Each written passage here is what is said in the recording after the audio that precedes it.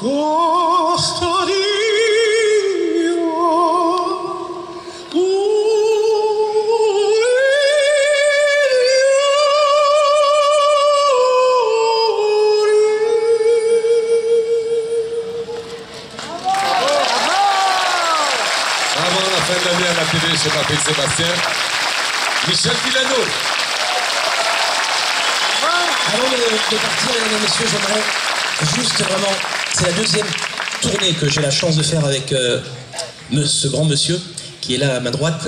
Je voudrais remercier toutes les équipes techniques, ceux qui viennent à midi et qui installent cette euh, structure sous en plein, hein, sous 40 degrés. Je voudrais qu'on les applaudisse très très fort.